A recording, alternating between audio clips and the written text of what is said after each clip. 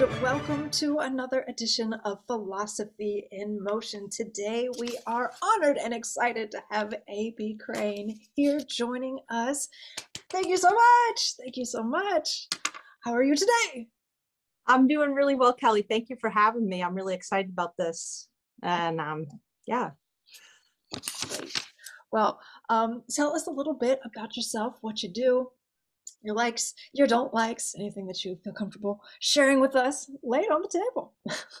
oh, great. So yes, I um I'm a writer. Uh, I also do uh, collage art and I dabble in keyboards. I'm not too trained on that, but I just do that for fun. And uh, my focus, uh, my intellectual focus, um, is in uh, sociology and economics, and uh, I really enjoy modeling uh, new edu- I think our what our world needs is new models in education, entertainment, uh, and economy, new entrepreneurial opportunities. So a lot of my writing uh, focuses and centers around analyzing current uh, situations in the economy and education models, and I innovate new ones. So um, basically that's what I do. And I use the mediums of art, uh, collage art, digital collage art, um, infographic, uh, writing. I read a lot on uh, economics, philosophy, sociology, anthropology. So my main vision is trying to look at economy through the lens of the anthropologist, uh, the historical framework, and the psychologist and the sociologist, and kind of synthesize uh, a lot of Western philosophy and Eastern philosophy. So I guess I get around a lot uh, and pretty diverse in, in what I read and research. So it's it's a lot of fun and it, very interesting. So uh, right now I'm working on a book. Um, it's uh, very research intensive uh, called The Holistic Integrationist, Economic School of Thought for the 21st Century. So I just feel that we need um, a new vision of economy that's not so polarized to either the laissez-faire side or the Keynesian uh, government interventionist socialist side. So yeah, basically, uh, that's that's what I'm doing.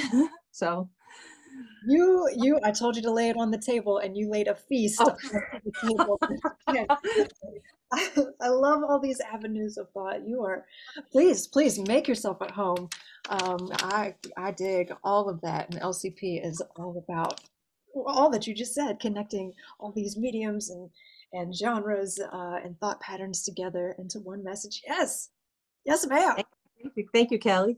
Oh yeah, let's get down with this interview then. Now that you've laid it on the table, I'm, I'm even more excited. um, so, how would you describe your highest advantage? Well, I, I thought of that that question. Um, I think my personal highest advantage is, ironically, uh, what I lack, uh, and that would be career ambition. um, I think that uh, this lack eventually opened up the space, though, for uh, it, was it started out like as a like a vague latent inkling of what was to come even in early childhood but uh, sort of a higher calling or sort of a personally defined ambition. So my lack of uh, ambition that, that kind of defined by the institutions of society uh, can then be seen um, my personally defined ambition uh, became a substitute for that uh, and i always felt uh, the economy and the culture to be so artificial, arbitrary, uh, meaningless version of the, this meaningless version of ambition uh, presented me uh, by these societal institutions, education, religion, family. Um, so I was always a fish out of water in a culture and economy of material excess. I think that's what bothered me most of modern consumerism. And as it, as it followed, neither did I fit into the work culture necessary to maintain what I felt to be a hollowed out, dead experience of life.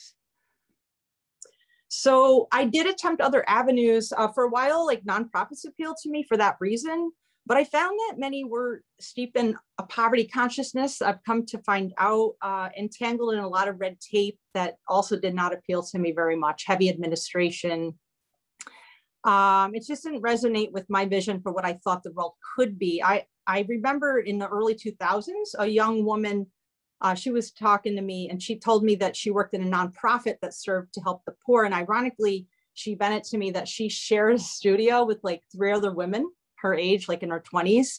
And she just was like, it's hard for me to, I have to quit. I, I can't come up with food, uh, food expenses. This is a nonprofit serving for now. I don't think all nonprofits are like this. Um, and at the other extreme, I worked at a nonprofit once where the director was making 300,000 a year. So there was a, a lot of, you know, anger and angst about that within, within the company. Um, so my inner voice always seemed to be repeating this thought that if only the world could simultaneously transcend toxic consumer culture of excess and also this other side of the coin, uh, this poverty consciousness, uh, there must be a third, more balanced approach to addressing our economic and cultural needs um, that are uh, more authentically, proactively, uh, more authentic and more direct. And so instead of forging a, uh, personally forging an upwardly mobile career path in a narrow field, uh, I worked many jobs in numerous industries, nonprofits, restaurants, disabled care, working with like all classes, ages, people from all backgrounds. And uh, I even worked supervisor jobs, union jobs. So I, I was able to study, and I guess this is a, a, a personal advantage. Um, I studied the economy from the inside out, not only from books, but I think importantly from direct experience.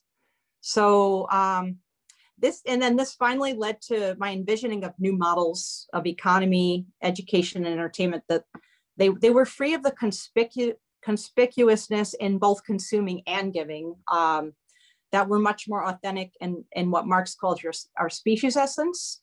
Uh, Thorstein Veblen uh, published a book in 1899 called Theory of the Leisure Class, and he talks about conspicuous charity and, and, and conspicuous consumerism that started with like barbarian invasions. So he traces it uh, pretty far back. Um, and then I've read other books uh, that uh, spoke of this. So um, we needed new models uh, where we can be less obsessed with this robotic impressing each other uh, as careers and consumers, and then um, which would be more naturally, organically expressive in our unique uh, creativity and talents. So. Okay, that's that's a fantastic answer. I, and it leads right into the next one, but I do want to pause a little bit. I, I want to admire uh, your answer, how it, it, um, it, it stemmed out of this lack, out of this, out of this need. And then I just love how you, you filled it. You, you know, embody your own message, transcending this, this personal uh, feeling and motivation to look at these societal uh, connections uh, and these more universal connections uh, and, and, and, draw yourself towards that and, and make a change. Just sort of drag the rest of the world with you on this ride. Um, so, uh, how how is it that you do, you believe that this personal highest advantage uh, is connected to this universal, or at least a more common notion of humanity and our highest advantage?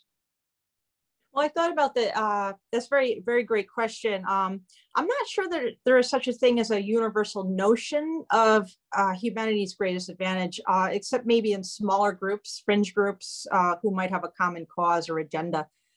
Um, people are so diverse, and I think one man's prison uh, just maybe another man's greatest sense of freedom sometimes, uh, or or maybe their sense of achievement as well.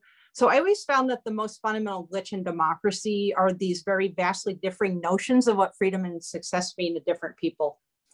So that said, though, I do think there are things that are universally uh, desirable, uh, that people want basic necessities, of course, love, sexual fulfillment, friendship, meaningful work, and enough leisure time. One thing we lack in this world is enough leisure time so we can enjoy all, all of those things authentically. So it may be that uh, I think human ingenuity is our highest advantage. Uh, what I what I saw was not a lack of uh, human ingenuity in general, but more so was the what was missing was a sturdy, efficient, organized framework where we can actually truly maximize that human ingenuity. So my higher calling at first was a more vague notion uh, of wanting to do something to help heal myself and others and to contribute to more authentic communities, uh, perhaps, but um, a new, more dynamic, life-affirming models in education and entertainment. I keep, sorry, I keep repeating that. I keep going back to that, but all this uh, soon blossomed into a, a very structured framework, a structured vision. Maybe even you could call this a matrix or a map. Uh, and so I crafted a series of digital collages, business plans, and books on my socioeconomic vision, which I call Project Integrity International. And this culminated in a very structured nuts and bolts plan and platform for this more vague uh, previous more uh, vaguely experienced yearning to be of some kind of use to humanity uh, and the earth. Uh, so I saw there were numerous books and concepts uh, uh, that flooded the internet and all kinds of libraries, and, and they expressed great sentiment for world change and even solutions such as uh, you see political action, vote this way, vote that way, or charitable causes but I did not see a direct, cohesive, tangible results oriented brick and mortar kind of strategy for these changes that are ever so critical. And so I set out to devise this uh, blueprint. Okay, that's great, and it, it sort of draws uh, draws me back to what we were saying before we before I pressed record. Uh, just uh, finding that space uh, uh, internally uh, uh, uh, getting beyond the guilt of taking a break after a big spurt of of executing and making deadlines and teaching and running around all over the place. Um, that internal struggle is very real and manifests itself, you know, in in everyday life. So I'm wondering, how do your everyday practical endeavors serve the achievement of your personal highest advantage? Um, and how are you tying that into uh, uh, these these structures that can give others the space to explore their own personal highest advantage and maybe compare and contrast or set them set us up to be in a position where collectively we can compare and contrast our highest advantages and and how we can integrate a space for everybody's highest advantage uh, in our material reality together.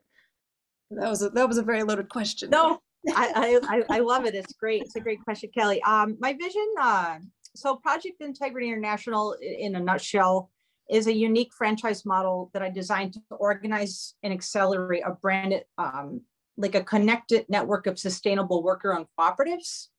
Um, and they build and bridge economic opportunity, social justice, environmental health, and strong supportive communities. So it's a it's, more of a uh, a sturdy, tangible platform.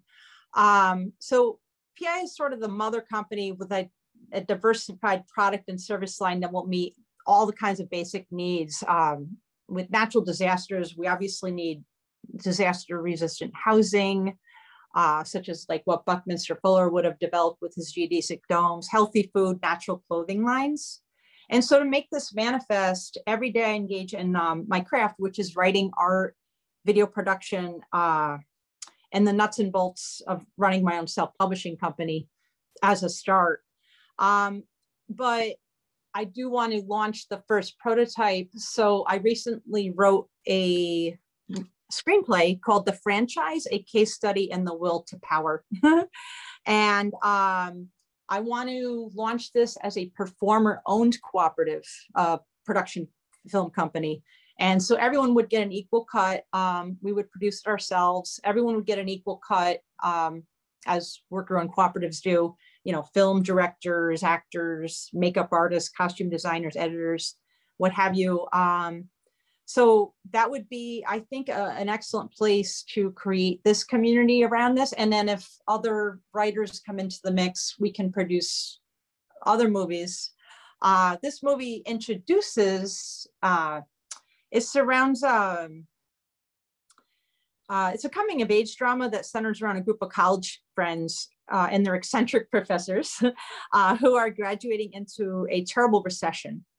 And in, in the course of the, uh, they struggle working at a fast food place and they don't like it because it's toxic food and they're getting treated like crap. And so um, the movie takes an interesting twist where they actually envision the project integrity model of franchising and then they actually towards the end launch uh, the first prototype cooperative um, and that that idea for the business that they launch um, can actually be a real life cafe. It would be an organic cafe that serves uh, teenagers as an after school program where they teach them entrepreneurial skill development, healthy nutrition, art. They they have their own uh, art on the walls and crafts and um, all kinds of poetry readings, poetry slams, music events.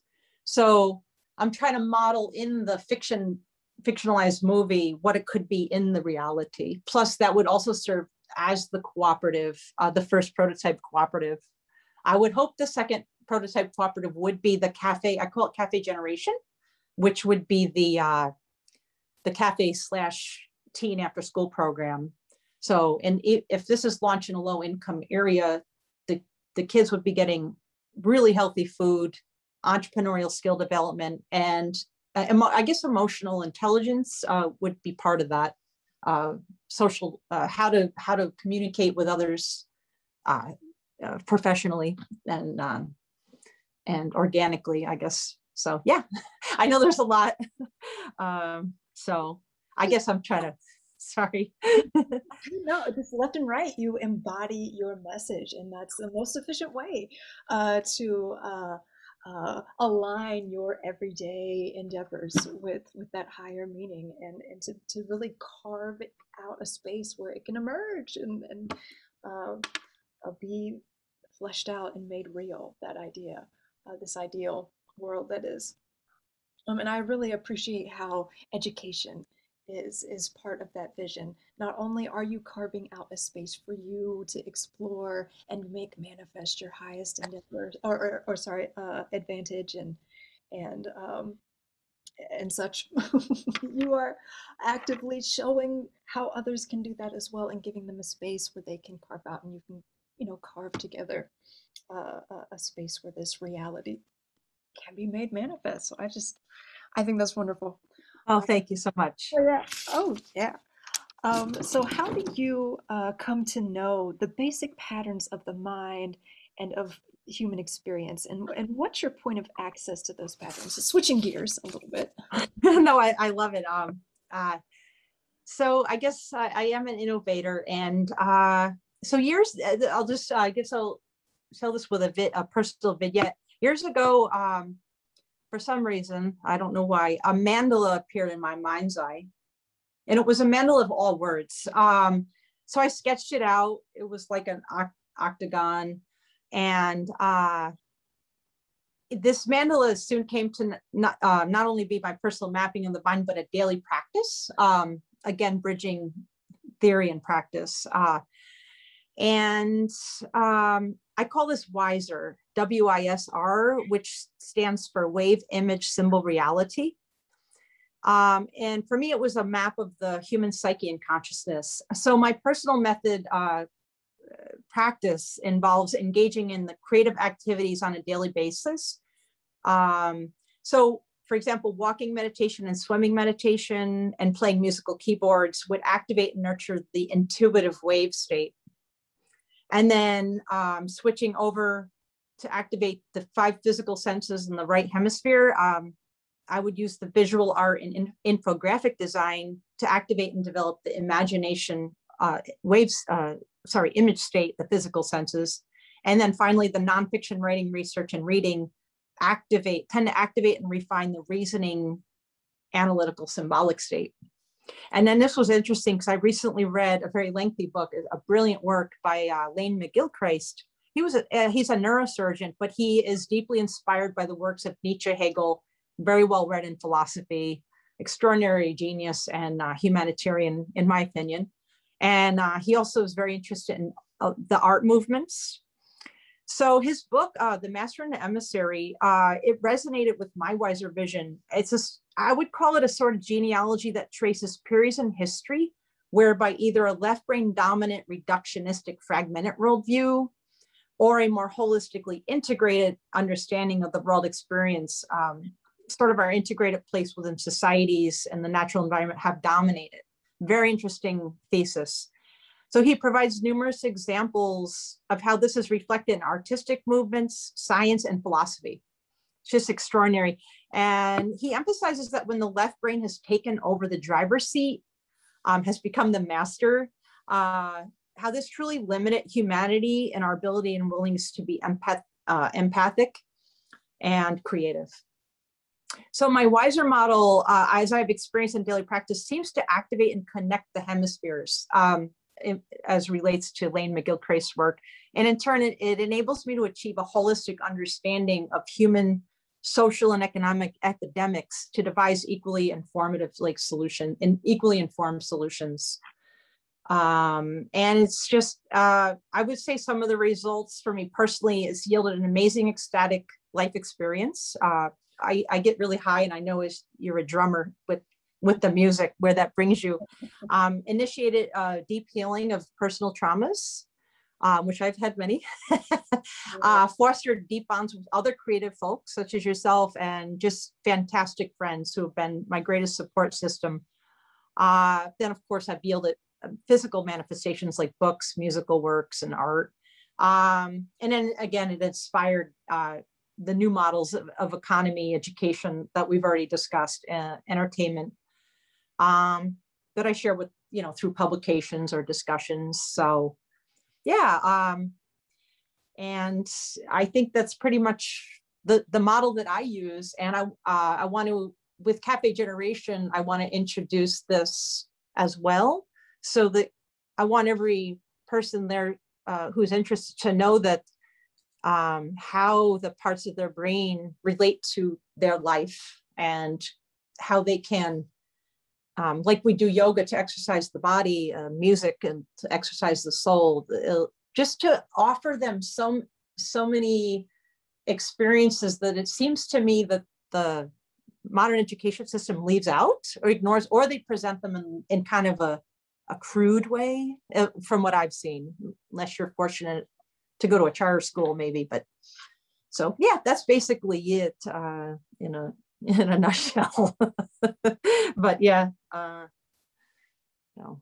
This uh, that's fantastic. I I have really enjoyed um, hearing about your views of production and social connections and how uh, that that grounds your understanding uh, and it, it seems to me, listening to this interview, uh, listening as I give it, oh goodness, um, the divides, uh, to to um, listen to you talk about how uh, creating art allows you to reflect through action on your uh, your motivations uh, and your needs in this material space, and and and in producing this reflective thing, uh, you're able to uh, become to, to to to to really carve out your material material reality uh, in a a closer resemblance to your vision uh, and what it uh, what it what what would be an optimal state for you to thrive. Uh, and from that position, you just um, you know automatically are uh, attuned to uh, social connections through through that art form. It's something that you could share, uh, and through which you can you can share ideas, uh, and and that art touches on uh, the the multidimensional uh, aspects of self upon which you can reflect. You know, activates that in the other, and and really you can see others. You know, minds at work uh, when when dealing with these productions. Uh, for those listening along at home, uh, A.B. Crane has got some amazing artwork, and and uh, if only I had a mirror to reflect on my face while uh, while uh, enjoying it, I, am sure I would I would be able to see my own mind uh, and my wheels a turning, um, and and to see that a light in someone else, and and to build that bridge with another, I think provides the foundation for. Um, for greater understanding for the for every party involved in that reflective sharing. Um, so sorry to go off on that tangent. Really no, it's beautiful, very, very beautiful. Thank you. Thank you for your answer. My goodness. Um, so so so tying back these these access points to the mind, uh, how it is. Uh, our everyday activity, or, or, so now we're drawn back to the question of everyday activities, and um, uh, and how it is we can we can integrate that mind into this into this reality, this medium with which we need to work, uh, and and uh, being able to model that reality off of our minds and oh so sorry anyways. I was just you got me so excited. You got me so excited. How do you make use of those patterns in your everyday practical endeavors